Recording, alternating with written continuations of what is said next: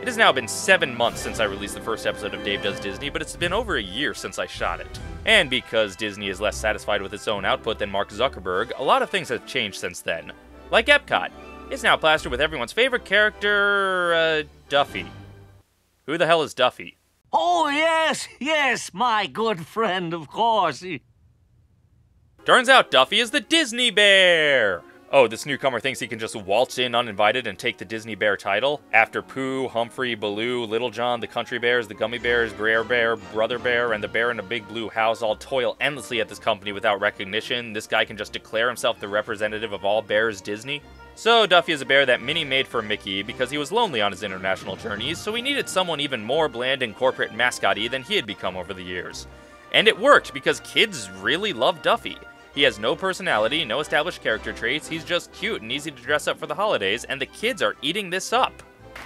I don't want to live on this planet anymore.